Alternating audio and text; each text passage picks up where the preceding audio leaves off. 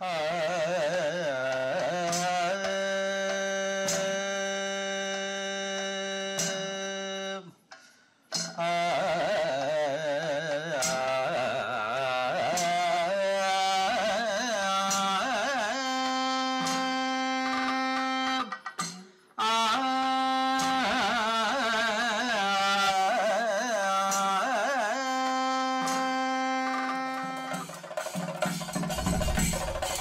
മധ്യകേരളത്തിലെ കാളികാവൂലിൽ അനുഷ്ഠാന നാടോടി നാടകമായി അവതരിപ്പിക്കുന്ന കലാരൂപമാണ് കുടിയേറ്റ്.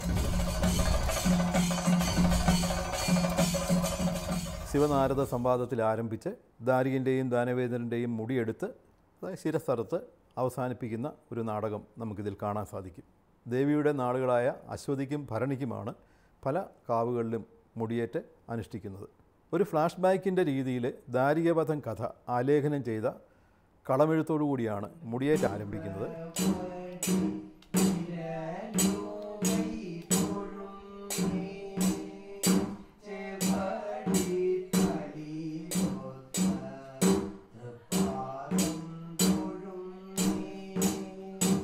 എന്നാൽ ഇതിന് മുമ്പേ തന്നെ മുടിയേറ്റ് ആരംഭിച്ചിരിക്കും.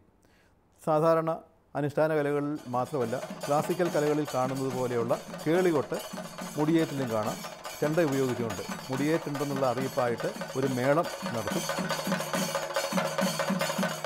മുടിയേറ്റിൽ എന്നും ഏഴ് കഥാപാത്രങ്ങൾ മാത്രമേ ഉള്ളൂ. ശിവൻ നാരദൻ ദാരികൻ കാളി കൂളി കോയമ്പ്രതായർ ദാനവേന്ദ്രൻ ഇങ്ങനെ ഏഴ് കഥാപാത്രങ്ങളാണ് മുടിയേറ്റുള്ളത്.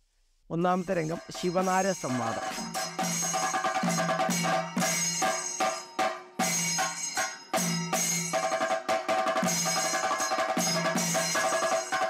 ആദ്യ രംഗത്തിൽ തന്നെ ശിവനും നാരദനും പ്രത്യക്ഷപ്പെടും. വളരെ ഗംഭീരമായിട്ടുള്ള ഒരു നാടക ലോകം നമുക്ക് അവിടെ കാണാം.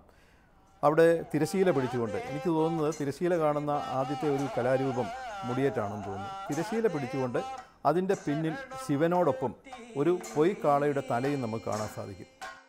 ശിവന്റെ സംഭാഷണ ഭാഗം പാട്ടിലൂടെയും നാരദന്റെ പറയുന്ന നാരദൻ തന്നെ പറയുന്ന രീതിയുമാണ്. അതായത് സോപാന സംഗീത ശൈലിയിലുള്ള പാട്ടാണ് മുടിയേറ്റിൽ ഉപയോഗിക്കുന്നത്. അപ്പോൾ അത് എട്ട് അടികളാണുള്ളത്.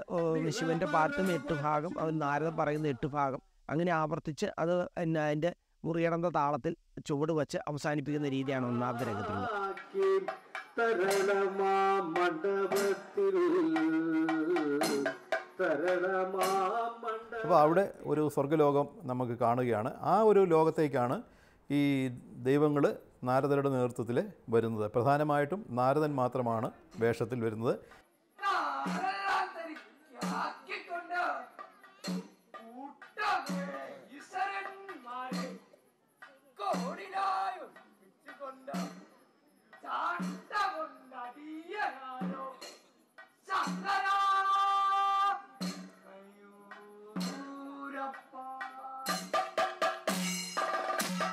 ശിവനാരദ സംവാദത്തിന് ശേഷം കഥയിലെ ദാരികാസുരന്റെ പുറപ്പാടാണ്.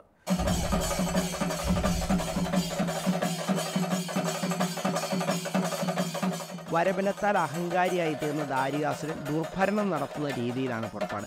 ജനങ്ങളെയും ദേവന്മാരെയും മഹർഷിമാരെയും എന്നെ ഉപദ്രവിക്കുന്ന രീതിയിൽ അത് മതിമറന്ന് ഭരണത്തിൽ അതായത് തനിക്ക് മരണമില്ല എന്നുള്ള മരണം സംഭവിക്കില്ല എന്നുള്ള വരവും കൂടി മേടിച്ച അവൻ ദുർഭരണം നടത്തുകയാണ്.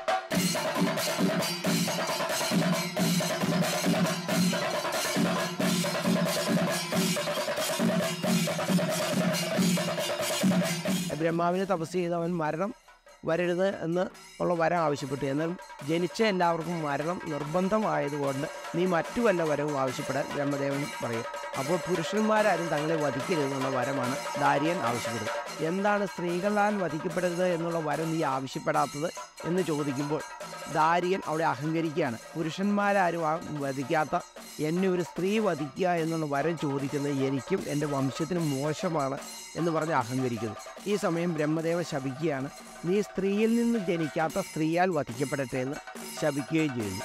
അങ് അങ്ങനെ ബ്രഹ്മാവ് അന്തർദാനം ചെയ്യുന്നു. ദാരിയന്റെ ആ പുറപ്പാട് അല്ലെങ്കിൽ അങ്ങനെ ചിട്ട ചെയ്തിരിക്കുക മുടിയേറ്റ് ചിട്ട ചെയ്തത് ഒരു ദുർഭരണം നടന്നു. ജനങ്ങളെ ഉപദ്രവിക്കുന്ന ചിട്ട ചെയ്തിരിക്കുന്നതാണ് ദാരിയൻ പുറപ്പാട് രംഗത്ത് അവതരിപ്പിക്കുന്നത്.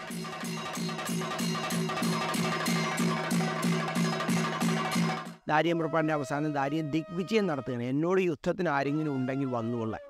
നാല് പർവതങ്ങളെയാണ് ഇതിന്. കിഴക്ക് ഉദയനാപർവതം പടിഞ്ഞാറ് അസ്തമനാപർവതം തെക്ക് യമകൂടാപർവതം വടക്ക് മഹാമേരി പർവതം ഈ നാല് പർവതത്തിന്റെ ഉള്ളിൽ എന്നോട് ആരെങ്കിലും യുദ്ധത്തിനുണ്ടെങ്കിൽ വന്നുകൊണ്ട് ദാരിയൻ വെല്ലുവിളിക്കുകയാണ് ശരിക്കും.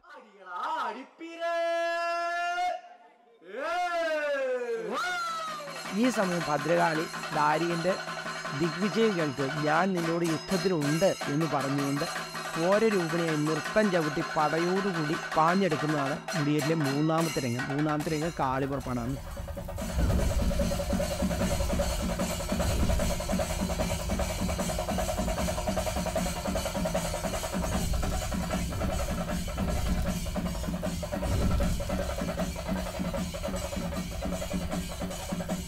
ക്ഷേത്രം നടക്കിൽ നിന്നാണ് കാൽ പുറക്കുന്നത് അകത്ത് മേൽശാന്തിയിൽ നിന്ന് വാളും മാലയും ഒക്കെ വാങ്ങിച്ച് ആ വാൾ പൂജിച്ചാണ് മേശാന്തി കൊടുക്കുന്നത്. അതുകൊണ്ട് ആ വാൾ വാങ്ങിച്ച് ക്ഷേത്ര നടയിൽ നിന്ന് മുടി വെച്ച് കെട്ടി കാളി ദാരിയാവത് പടയോടുകൂടി.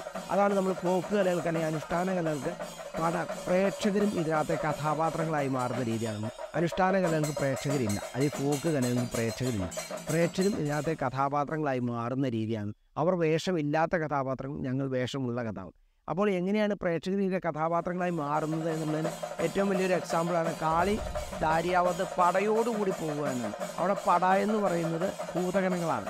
അപ്പോൾ അവിടെ ആർപ്പും കുരവയുമായിട്ട് ജനങ്ങൾ കൂടുമ്പോൾ അവരാണ് അതിനകത്ത് ഭൂതഗണങ്ങളായിട്ട് സങ്ക സാങ്കല്പികമായിട്ട് മാറുന്നത്. ആ രീതിയാണ് മുടിയേറ്റുന്നത്